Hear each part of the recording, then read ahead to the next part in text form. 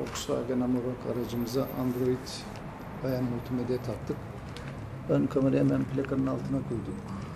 Yandan baktığımız zaman da gizli oldu. Evet güzel oldu.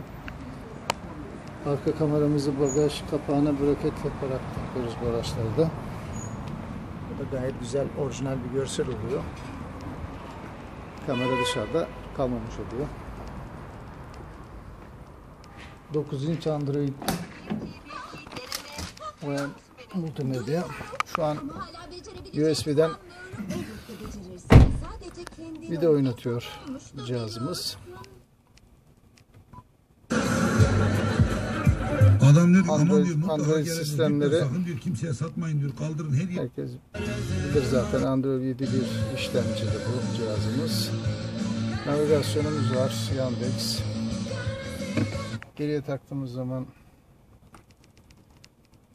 gayet net bir geri görüş özel bir kamera kullandık bu araca. Geriden çıktığımız zaman da 10 saniye bize ön kamera otomatik devreye giriyor. Ön ve arka kamerada cihazımız. Yandex navigasyonumuz çalıştı. Android cihazları herkes bilir.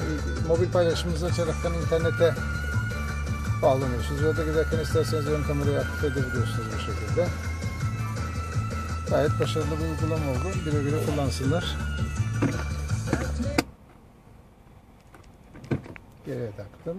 Sonra öne geçti. Direksiyon kumanda falan tabi Volkswagen'lerde hepsi çalışır. Gayet güzel bir uygulama oldu. Güle güle kullansınlar.